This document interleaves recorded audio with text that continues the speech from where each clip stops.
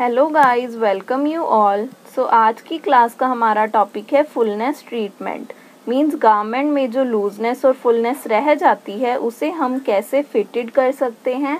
By using tucks darts pleats etcetera तो सबसे पहले है introduction fullness treatment garment design और कंस्ट्रक्शन में एक क्रूशियल रोल प्ले करता है, क्योंकि फुलनेस ट्रीटमेंट से एक्स्ट्रा फैब्रिक को शेप वॉल्यूम और एक एस्थेटिक लुक दिया जा सकता है। And with the help of it designers garment में एक स्टाइल और फंक्शनैलिटी ऐड कर सकते हैं। And last there are some methods of fullness treatment like tucks darts gathers shirrings frills and flounces ruffles pleats etcetera तो सबसे पहले आते हैं tucks tucks are the narrow folds of fabrics जो कि मेनली लेंथवाइज डाले जाते हैं गारमेंट की फुलनेस को कवर करने के लिए। प्लस गारमेंट में एक डेकोरेटिव इफ़ेक्ट देने के लिए।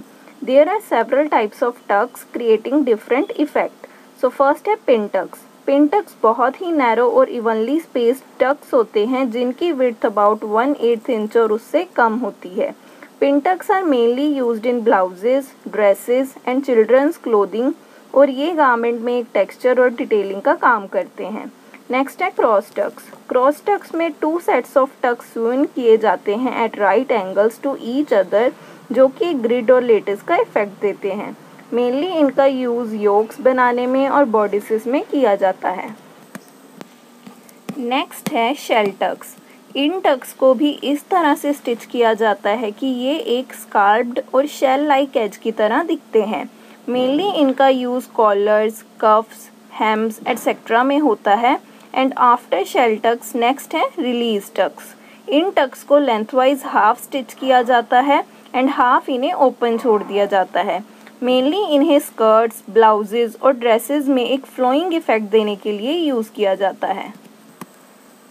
नेक्स्ट है कॉर्डेड टक्स कॉर्डेड टक्स में स्टिचिंग से पहले कॉर्ड इंसर्ट की जाती है इनसाइड द फोल्ड जो कि एक रेज्ड और टेक्सचर्ड इफ़ेक्ट देती है गारमेंट को। एंड लास्ट है ब्लाइंड टक्स ये टक्स गारमेंट के अंदर को स्टिच की जाती है, जिसकी वजह से इसकी स्टिचिंग लाइन भी फ्रंट में विजिबल नहीं होती और ये एक गारमेंट को रिफाइंड और पॉलिश लुक प्रोवाइड करती है. And these are the images और diagrams of tucks so first है pin tucks then release tucks cross tucks corded tucks shell tucks जो कि शेल की फॉर्म में है एंड लास्ट ब्लाइंड टक्स जिनमें स्टिचिंग लाइन विजिबल नहीं होती.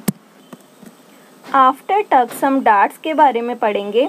डार्ट्स गारमेंट कंस्ट्रक्शन में एक इंपॉर्टेंट एलिमेंट है जो कि फैब्रिक को शेप देने में और फिटिंग में हेल्प करते हैं। And they are created by stitching a fold of fabric into tapered point tapered means जब हम स्टार्टिंग ज़्यादा विड से करते करते स्मॉलर एंड पर ख़त्म करते हैं। कुछ मेन टाइप्स हैं डार्ट की लाइक स्टैंडर्ड डार्ट जो कि एक सिंगल डार्ट होती है। और कॉमनली गारमेंट्स में बर्स्ट वेस्ट और हिप्स को शेप देने के लिए यूज़ की जाती है। आफ्टर स्टैंडर्ड डार्ट्स नेक्स्ट है डबल पॉइंट डार्ट इस डार्ट को फ़िश आई डार्ट भी बोला जाता है, क्योंकि इसके दो टेपर्ड पॉइंट्स होते हैं, दोनों एंड्स पर, जो एक फ़िश की शेप की तरह दिखते हैं। कॉमनली इसको ड्रेसेस के waist area jackets blouses and below और अबव द वेस्ट एरिया की फुलनेस को ख़त्म करने के लिए यूज़ किया जाता है। नेक्स्ट है डेकोरेटिव डार्ट जो डार्ट एक डेकोरेटिव और फंक्शनल पर्पस के लिए यूज़ की जाती है, उसे डेकोरेटिव डार्ट कहा जाता है। ये डार्ट गारमेंट में एक विजुअल इंटरेस्ट देने के साथ साथ शेपिंग भी प्रोवाइड करती है and it might be top stitched और इसमें हम कंट्रास्टिंग थ्रेड भी स्टिचिंग के लिए यूज़ कर सकते हैं। And these are the images of darts first है स्टैंडर्ड डार्ट इसको हाफ़ डार्ट भी कहा जाता है। एंड राइट हैंड साइड है डबल पॉइंट डार्ट जिसको फ़िश आई डार्ट तो कहा ही जाता है प्लस इसे फुल डार्ट भी बोला जाता है। एंड लास्ट में है decorative dart after darts next है गैदर्स गैदर्स की हेल्प से फैब्रिक की लेंथ में स्मॉल फोल्ड्स आ जाते हैं, जो कि गारमेंट में एक सॉफ्ट फुलनेस और वॉल्यूम देने का काम करते हैं। They are commonly use in skirts sleeves and bodices कुछ टाइप्स हैं गैदर की. फ़र्स्ट है सिंगल गैदर इसमें फैब्रिक पर सिंगल लाइन स्टिचिंग की जाती है एंड देन उस स्टिच लाइन को पुल करके गैदर्स डाले जाते हैं। नेक्स्ट है double gathers unlike single gathers इसमें टू पैरल स्टिच लाइंस लगाई जाती हैं देन उन्हें पुल करके गैदर्स डाले जाते हैं। And the last one is elastic gather जिसमें गैदर्स डालने के लिए इलास्टिक का यूज़ होता है और ये गारमेंट को स्ट्रेचेबल और इजी टू वियर बना देते हैं। And these are the images of gathers first है single seam gather then double seam gather and last है elastic gathering after gathers next है शेयरिंग्स शेयरिंग एक टेक्निक है जिसमें गैदर्स की मल्टीपल रोज स्टिच की जाती हैं with the use of elastic thread जो कि फैब्रिक को स्ट्रेची और डेकोरेटिव बना देता है. कुछ टाइप्स हैं शेयरिंग की.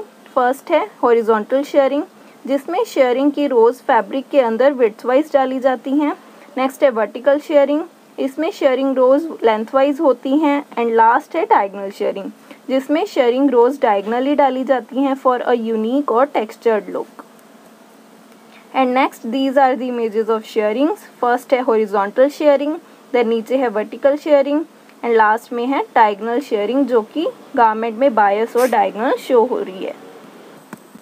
आफ्टर डिस्कसिंग शेयरिंग्स नेक्स्ट है frills and flounces frills and flounces garment edges में एक डेकोरेटिव वॉल्यूम और मूवमेंट ऐड करते हैं। कुछ टाइप्स हैं फ्रिल्स की लाइक स्ट्रेट फ्रिल जिसमें फैब्रिक की एक स्ट्रेट स्ट्रिप को कट करके उसे गारमेंट एजेस पर इवनली गैदर्ड और प्लीट किया जाता है। नेक्स्ट है सर्कुलर फ्रिल इसमें फैब्रिक का सर्कुलर पीस काटा जाता है with a hole in the center जो कि स्ट्रेट फ्रिल से ज़्यादा वॉल्यूम और वेव प्रोवाइड करता है। आफ्टर फ्रिल्स कुछ फ्लॉन्सेस के टाइप्स हैं तो फ़र्स्ट है सर्कुलर फ्लॉन्स जिसमें फैब्रिक को सर्कुलर काटा जाता है एंड नेक्स्ट है स्पायरल फ्लॉन्स जिसको स्पायरल शेप में कट किया जाता है। At last frills and flounces में एक डिफरेंस ये है कि फ्रिल्स को कट करके उनमें गैदर्स और प्लीट्स डाले जाते हैं वेयर फ्लोन्सिस को डायरेक्टली सर्कुलर और स्पायरल शेप में कट करके फैब्रिक एजेस पर अटैच किया जाता है। And this is the picture of frill and flounce one more thing about frills and flounces is that कि फ्रिल्स की लेंथ शॉर्टर होती है देन फ्लॉन्सेज नेक्स्ट टॉपिक है ruffles ruffles are similar to frills but ये frill से ज़्यादा structured और volume add करते हैं गारमेंट में and they are creating by gathers और pleats using a fabric strip जिसको बाद में गारमेंट पर अटैच किया जाता है। कुछ टाइप्स है रफल्स की लाइक सिंगल रफल जिसमें सिंगल फैब्रिक स्ट्रिप को गैदर किया जाता है। नेक्स्ट है डबल रफल इसमें two layers of fabric gather किए जाते हैं। देन बायस रफल जिसको डायगनली फैब्रिक पर कट किया जाता है। लास्ट प्लीटेड रफल जिसमें फैब्रिक स्ट्रिप पर प्लीट्स डालकर उसे गारमेंट पर अटैच किया जाता है। And this is the image of ruffle जिसके सेंटर में गैदर्स डाले गए हैं और ये फ्रिल से थोड़े वाइडर होते हैं। लास्ट है pleats pleats are the folds in fabric जिनको स्टिच करके प्रेस किया जाता है इनटू प्लेस जो कि गारमेंट में फुलनेस को कवर करने के साथ साथ एक टेक्सचर भी प्रोवाइड करती हैं। कुछ कॉमन टाइप्स ऑफ़ प्लीट्स हैं लाइक बॉक्स प्लीट्स जिसमें फैब्रिक के दोनों सेक्शंस को फोल्ड करके सेंटर में एक पॉइंट पर मिलाकर स्टिच करना होता है। और मेनली इसका यूज़ स्कर्ट्स ड्रेसेस और स्कूल यूनिफॉर्म्स में किया जाता है। नेक्स्ट है नाइफ प्लीट्स इन प्लीट्स में फोल्ड्स को सेम डायरेक्शन में डाल के स्टिच करना होता है। एंड ये स्कर्ट्स और फॉर्मल अटायर में यूज़ की जाती हैं बिकॉज़ ये गारमेंट एक स्लीक और स्ट्रीमलाइंड अपीयरेंस प्रोवाइड करती हैं।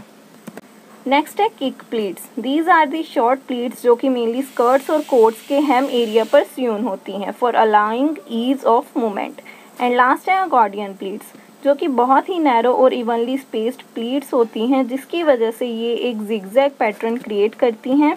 प्लस कॉमनली ये स्कर्ट्स और ड्रेसेस में एक ड्रामेटिक और फ्लोइंग इफ़ेक्ट देने के लिए यूज़ की जाती हैं।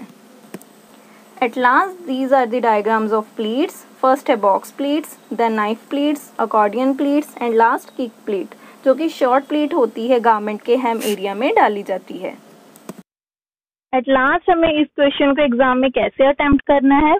हमें हर टॉपिक को मिनिमम टू पेजेस में कवर करना है for two marks question first page पर हम टॉपिक को एक्सप्लेन करेंगे देन सेकंड पेज पर उसकी डायग्राम बनाएँगे देन अगर क्वेश्चन टेन मार्क्स का है देन फाइव टॉपिक्स आएँगे पेपर में, और अगर एट मार्क्स का है then four topics will come and we have to try to explain the topics into points rather than into a paragraph